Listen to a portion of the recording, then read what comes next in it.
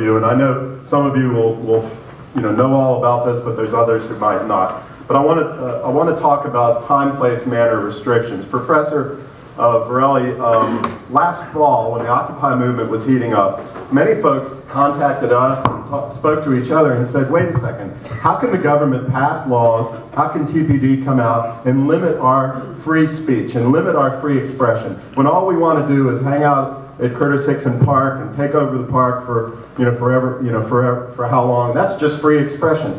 And the question arose over and over, and they wanted us to come to their aid in terms of, you know, making sure the city would let them sleep in the parks, which is, a, you know, potentially a First Amendment type of thing. But other types of free expression and free speech issues were, were at risk at the time. Can you ex explain to all of us how the government can regulate speech, and specifically explain the government's ability to enforce reasonable time, place, manner restrictions, kind of con law 101? maybe con law 1. I'll leave out the 01 in the interest of time. Um, I think it's a relatively simple concept that many of you will know as well as I. Um, it's, a, it's a balancing act in general. Um, most of the, most all of the rights in the Bill of Rights end up creating some sort of a balancing act. There are no absolutes in any of those first 10 amendments. There are no absolutes in the 14th. There are no, I guess the 13th is the closest, but that's for a different panel. Um, the First Amendment protects our right to speech and, and uh, protects our right to express ourselves.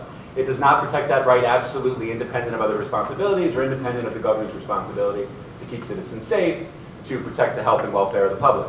And the time, place, and manner restrictions, and that's become a term of art, that's really what they are. Time, place, and manner restrictions are a way that the Supreme Court has recognized to balance the interest in the public, of the public in free speech and expression and the needs of the government. Again, remember, free, the free, our free speech rights are exercised only against the government. So we have no constitutional free speech rights against private actors. So it really is a balance between individuals' rights to speak and the government's ability or need to restrict that speech in reasonable ways. As I tell my students, con law is about tests as much as it is about answers. And what is the test for a time, place, and manner restriction? The government is allowed to create reasonable restrictions that are narrowly tailored to a significant government interest that leave open ample alternative channels for speech. That is a lot of language. We will talk about it, I'm sure, and, and deconstruct it over the time we're here. But that is the idea. Reasonable regulations, narrowly tailored or directed at or closely related to an important government interest like health and safety that leave open alternative channels that are not prohibitive of the ultimate right to express one's views in some sort of public way. And I hope that's a good start. Thank you. Thank you. Um, City Attorney uh, Shimberg, we, this past week, uh, all the newspapers and, and, the other media sources have been uh, reporting about the so-called clean ordinance, clean zone ordinance, that uh, the city administration, the mayor, and your office have been working on. Um, and it's 18 pages long. Uh, everybody can look it up online uh, because it's coming to city council for their uh, this Thursday morning's agenda for first reading. Um, Jim, I wanted to give you an opportunity to explain a little bit, um, you know, why the city administration and your office feel that it's important to have a clean zone ordinance, um, and um, uh, you know, and, and clearly there, there are restrictions and limitations on free speech. Speak to perhaps the reasonableness of it, as as Professor uh, Varelli uh, spoke to a minute ago. And uh, you and I have had many of these conversations over the last couple of months, um, just generically about about these types of issues. So, um, and, and then after you get done speaking about it uh, generally, I want you to speak to the 60 minute limitation provision, if you can. Okay. Probably want to pull that mic. That mic. Well, we've, we've been working for, for quite some time on what the appropriate type of ordinance that we should present to City Council for their consideration. And I know we've got. We can't hear you. You're talking away from Hold it. Talk at it.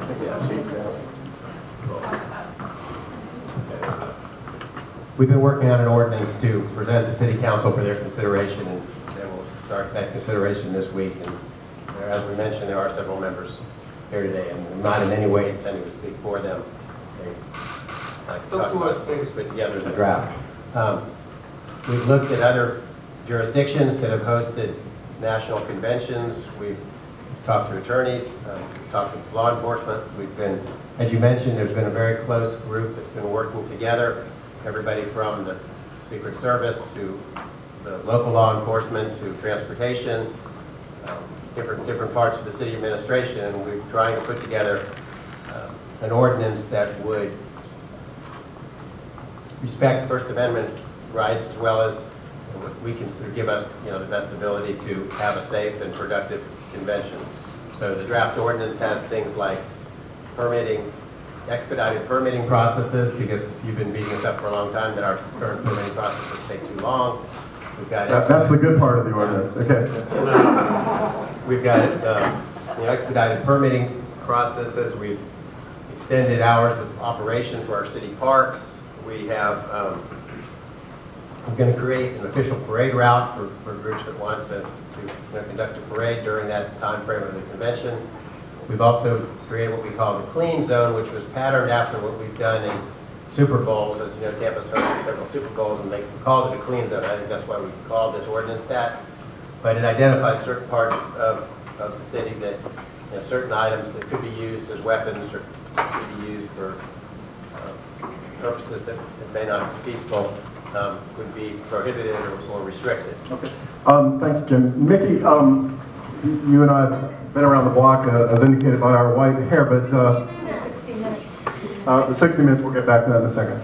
Um, Mickey, what, how do you feel about, you had a chance to read some of this ordinance uh, over the last day or so? I- You know, how do you feel about this? Um, You know, they called it, they call one area the public viewing area, and other cities, they've called it the free speech zone. Um, Does that jump out at you as problematic at all? Well, you know, uh, going back to the time, place, and manner restrictions, the key word in that phrase is reasonable. And uh, what somebody thinks from the government is reasonable may differ greatly from what the press or the public thinks is reasonable. Um, The question is, and I know I'm kind of mixing metaphors here, but, but, um, you know, in another very important case, separate uh, was not necessarily equal. So when you've got people that are allowed to speak what they feel like saying, or allowing the press to cover that, but they're so far away from being effective to actually give voice um, to, to those people, I, I think that that, that in itself could be a problem. Um, Almost all of these things are very fact-specific. Um, I'm sure, uh, no matter how well things go, that there are going to be cases that are going to be argued when people are arrested. And I'm sure each and every one of them will hinge on the specific facts of what happened and what was going on during that time, which is one of the reasons I believe it's so important to be able to document uh, and record those events. Because when you get down to the he said, she said, um, usually, and I see, I see a lot of this, um, the criminal complaint or the police report sometimes differs very greatly from the video and the audio of that very same scene. So keeping the press away sometimes serves a purpose. Um, Mickey, just as, as a follow-up, the, you know, one of the things that I sent you an email about today, because we just noticed it, is that uh, one of the three things that are prohibited in the public viewing area, um, in- and maybe even the entire clean zone, include monopods, bipods, and tripods. And I asked um, uh, the city about that, and they said, well, TPD has concern that these metal poles could be used, or have been used elsewhere as weapons. I would think that your organization could have a lot of concern about that, especially, you know, with your folks who have big cameras and don't want to be lugging around in the August heat. Well, that, that's true, but uh, I, I'm sure in that kind of fluid situation, and I shot long enough, it's, it's really nice to have the luxury of being able to shoot on sticks, uh, as these guys in the back can attest to. But when you've got the police moving around and protesters moving around, I think it's going to be very unlikely that most people are going to be using a tripod. Uh, You know, I've shot uh, the sidelines for ESPN for 12 years. Nobody gets to have a tripod on the sideline. It's dangerous when the players might run into that. But that being said, I also don't know of any photographers that would think of using a tripod or their camera as, as a weapon, uh, of, I mean, a weapon of hitting somebody. It's, it's a very powerful weapon as, as in, you know, the pen is mightier than the sword. but not to be used as, as to assault somebody. Okay, uh, Jim, I didn't mean to let you off the hook, um, on the six, on the sixty minute, the sixty minute limitation, and that's been written about in the, in the newspapers. Um, basically, uh, what that says is that, that if you're gonna hold a protest rally or an assembly, or if you're gonna hold a parade and you go through the permit process, that somehow or another the city wants each of the groups to limit themselves to sixty minutes. Well, what's the purpose of that? And, and, uh, Julie, Ellen, what do you, how do you feel about that? First, let me, you know, caveat again, that this is an ordinance that's being Talk to presented. us, sir, talk to us about please, you off the microphone. Keep it, keep it close to the mouth. The, you know, the draft ordinance has that in there, that's obviously up for city council consideration. The purpose of that was twofold. One was that some of the police officers during that time frame are going to be wearing heavy equipment and would not be able to stand out in the August heat for very long. Second issue is, I don't know how many of you went to the mayor's um, State of the City address this morning, but it was early April, and it was in the boiling hot sun, and, you know, luckily it didn't last an hour, but I don't know how you'd be able to go much longer. We also want to try to create as many spots as possible for groups to be able to participate either in the parades or in the, you know, the public gatherings. So that was based on the evidence that we determined, that was what we thought was the appropriate time limit. Obviously, that's up for city council consideration. Julie, Ellen? Well, I mean, I think that it gets back to that reasonableness, a subjective term that um, I think when you do, are dealing with such a short amount of time and, you know, ideally there are going to be a lot of people out there um, probably interested in having parades. I think, you know, it depends, it's kind of balancing, accommodating all of those who do want to have the parades with the uh, amount of space available. And I think that that's the second part, you know, the amount of space available, you know, making sure that there are ample opportunities, um, both within the clean zone and outside the clean zone where people, you know, can assemble and have parade routes. But um, I think that 60 minutes is, uh, you know, the reasonableness, you know, as we were talking about earlier, it can really mean a lot of different things. You know, the city might think it's reasonable, but do the, the groups outside groups think it's reasonable and what is, you know, if, it- no matter how much time, um, where, who would be happy um, with this set amount of time for a parade? Well, yeah, and, and, you know, some people might come with a group of a hundred, and you, and you might be able to march a hundred through your parade route within an hour. But another group called me today, and they, I said, how many are you thinking about bringing? And they said easily a thousand. So to get a thousand people organized and that type of thing, and then marching, you know, and going where they need to go, et cetera, and have all that done in 60 minutes could be a real challenge. Even if they're peaceful, you know, then all of a sudden TPD it, it is going to say time's up, and what if they're only halfway done with the route? And and these are some really practical issues that I hope uh, City Council uh, and the city continues to address. Um, let's move on. The um, there's another provision in the ordinance um, having to do with the prohibition of masks, and, it, and it's kind of interesting because um, as as we all know, the use of masks uh, I think came into vogue in the 60s and 70s. Uh, you always saw the Richard Nixon mask. Um, I think I think in Tampa we'll be seeing the, the Romney or the Santorum or maybe even the Bob Buckhorn mask might reappear. Um, but anyway, the the the ordinance uh, um, prohibits masks in throughout the clean zone, and the clean zone has been defined not only as I expected the clean zone to be, you know, downtown Tampa.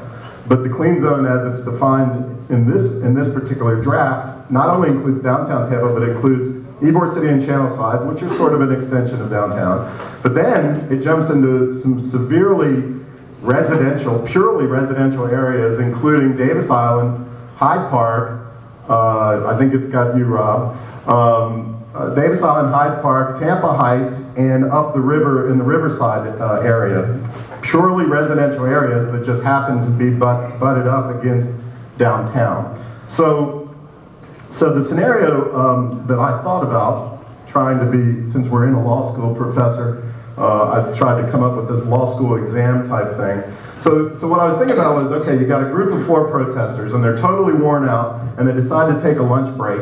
So they go up the river to Rick's on the River. Everybody know Rick's on the River? It's about a mile. It's about a mile north of here, right up the river, and it is in the clean zone because it's just south of Columbus Boulevard. They bring their Bob Buckhorn masks and they put them on at lunch while they're discussing, you know, their next, uh, uh, you know, the next activity at the convention. Under Section 8 of the current draft ordinance, they will, they are clearly in violation of that provision by wearing the masks in the, in the clean zone, anywhere in the clean zone, even if it's a mile up the river. They could get arrested for violating that city code, potentially convicted of a second degree misdemeanor and serve in jail for 60 days. Professor uh, Varelli, as a con law professor, how does that regulation sit with you? Uh, is it reasonable, time, place, and manner restrictions? And you are sitting next to the city attorney. No. And the, and the student who I know, who now know what she feels like when she's in my class. Thank you very much for the hypo. Um, I think the concerns are the same that they always are. There is First Amendment precedent that says anonymity is a protected right and anonymous speech is a protected right, the wearing of masks is a protected right. That doesn't change the existence of the time, place, and manner requirement. Um, I think questions of reasonableness, the context, the facts are going to make all of the difference there. Um, is there an alternative avenue for that speech? Is there a significant government interest at play in prohibiting masks in that way, in that time? I think you're going to see conversations about that. Um, and as I said, uh, let me remind you, con law is generally not about answers all the time.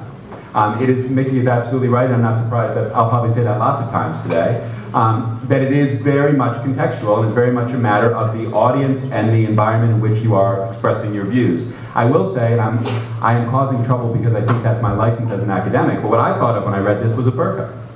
Was it what? A burqa. Now I've really caused trouble, and I apologize to the city council people in the room. But I, I think those are the sorts of First Amendment issues that are invited by all of these questions. And time, place, and manner is primarily a speech issue, not a free exercise issue. And so I think there are things at play here that it, and I will say, it is impossible, in my view, for any legislature to anticipate in its entirety, and certainly for a drafter to anticipate. So I am not intending to besmirch, I promise, sir, the efforts made.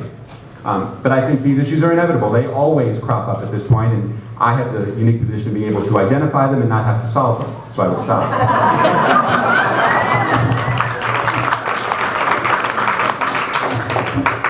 And just in case y'all want to know why I'm staying so quietly uh, here, is because you have to be arrested first for my office to become involved, and it's at that point that we would then address the constitutionality of the underlying ordinance that exists. And so uh, I, that's why I said seven to 10 days. I anticipate my job will not stop. And as a matter of fact, I have a colleague here from uh, Bartow, uh, the 10th Circuit, who does our appellate work. And that goes to show you when we talk about partnerships, we are anticipating that perhaps the constitutionality of the ordinance may come into play very quickly as soon as the very first arrest is made. We have to have some emergency procedures in place. That's what partnering is about. Uh, I think the city understands what my role is. I know the community understands it, and I assure you that, that we are anticipating uh, quick work probably on day one. Uh, and we stand ready to do so. And